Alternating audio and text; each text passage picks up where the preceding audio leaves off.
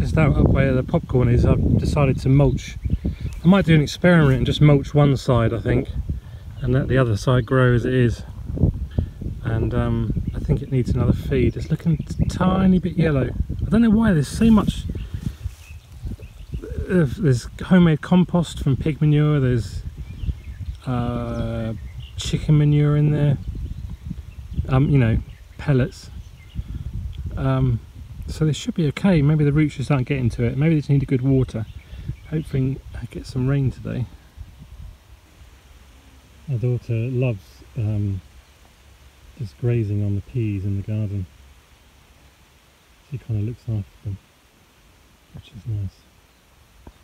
About to cut some more comfrey to make some more fertiliser.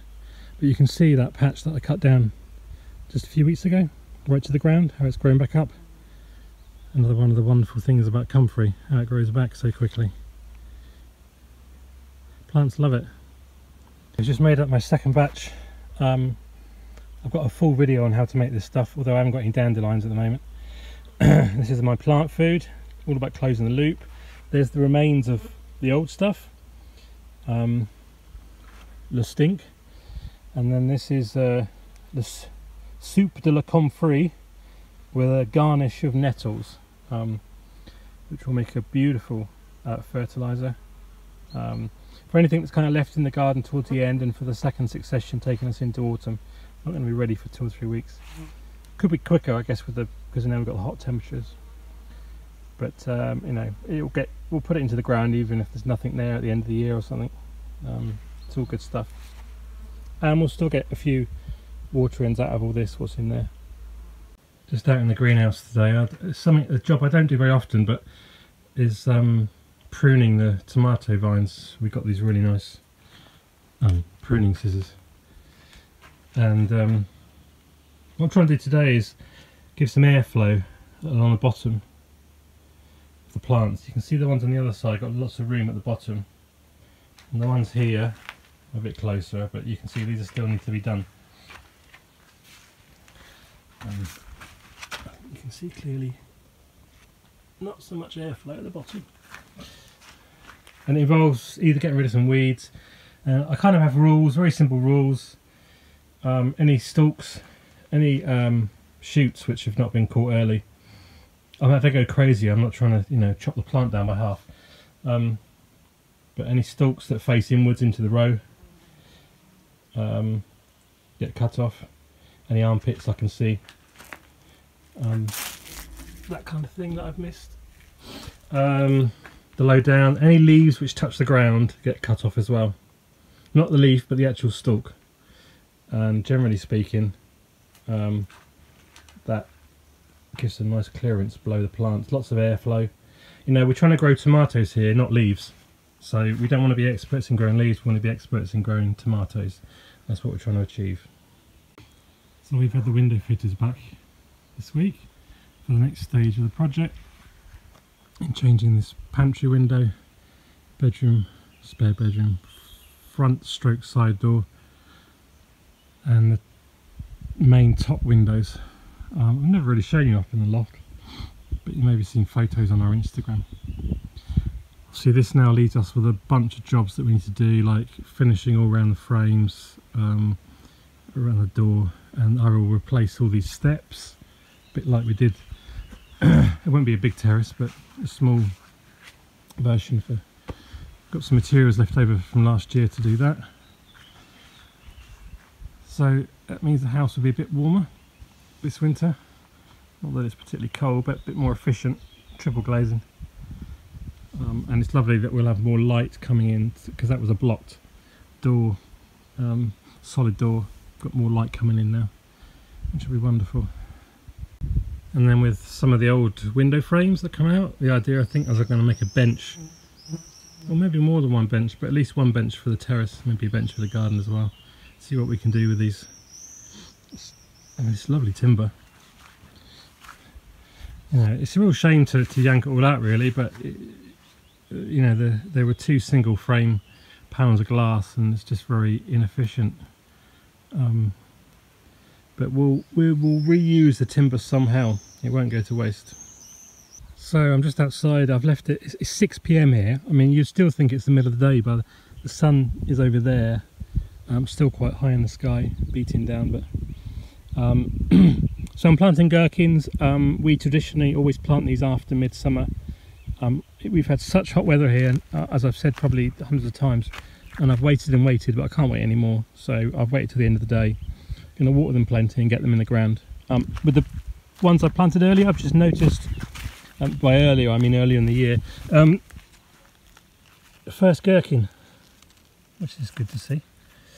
Let the gherkins begin. Let the pickling begin. Oh second gherkin I've just seen another one. Which is nice.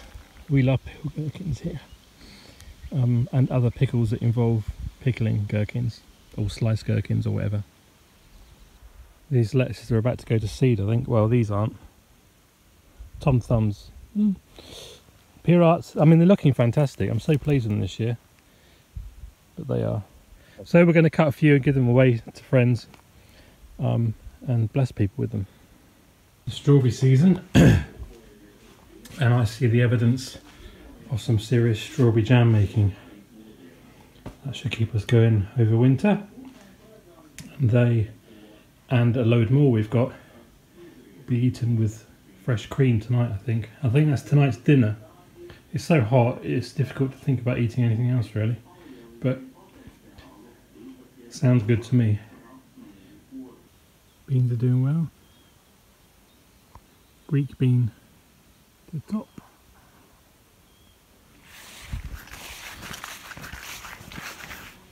And first flowers on the runner beans.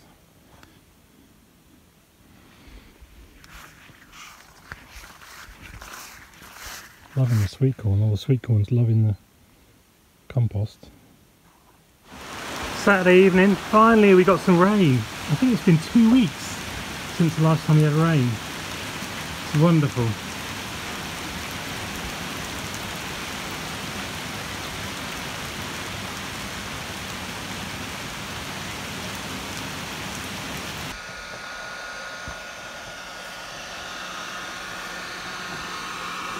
Is it Russian on this? Oh, it's there as well.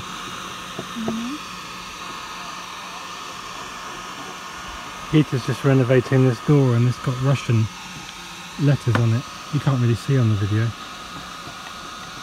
So she scraped it off with a heat gun and then revealed the message and the message translates as all that come in will be corpses. It's like a curse kind of thing, which is, you know, a really nice greeting, isn't it? So, um, People may want to find why is it from a generation home, but that's to do with the Soviet time. Yeah, it's to do with the previous In between us, between yeah. the family and Vakta family. It's complicated. Very close to the home, I don't know, 30 yards. This year we've got this wonderful patch of wild strawberries. I don't know if you can see all the little dots of red. Here, hundreds. So we just come through and pick them.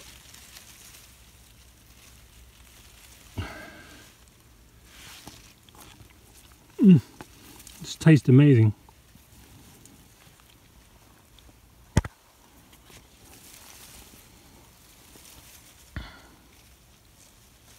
Just falling off as I touch them. Just been sowing my autumn plantings, got brassicas in there. Um, that's tundra cabbage, Chinese cabbage and an express pointed cabbage. And down there we've got lettuces, we've got spinach, we've got um, some basil, some coriander, um, and some turnips. Yeah. Hope you can hear me. Um, this is a Colorado beetle.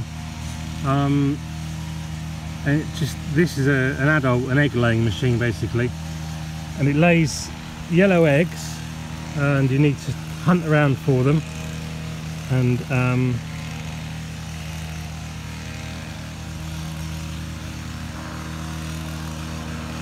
on potato plants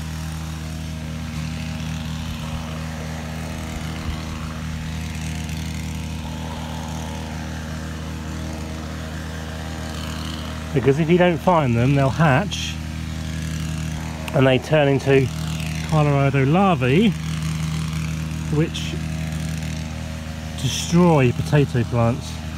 Big problem in Latvia. I know a lot of friends around have had a problem with them. We've largely managed to escape them, if I'm honest. Um, we just noticed them last night, whilst others have already been dealing with them. And um, see if I can find some eggs.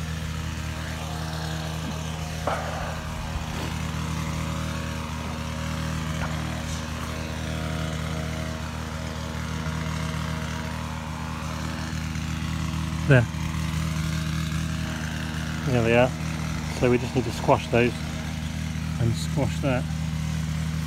And then what they do is they turn into this. They are Colorado larvae and you can see how they the sun in the right direction. Eat the potato plant. So we just need to flick these off into a basket, into a box. See there's not many. A little bit there, a little bit there.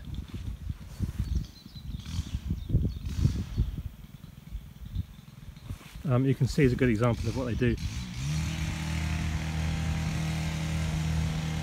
And on our main crop on the in the in the uh, on the main field, there's just a handful at the top. So it looks like we caught them quite early, thankfully, and we can deal with them. Just keep an eye on it. Finally putting in the overflow for this barrel. This is the most difficult one because um, it's got the least gradient and I need it to be under the footpath. I need to be so the water rolls out and not really interfere with the flower bed so yeah tricky.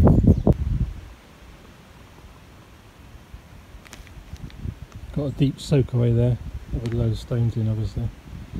Hopefully that will do the trick. Okay all done it's quite complicated there because of the difference in the levels. You can't really see it because of the dappled light. but now it's a lot more level.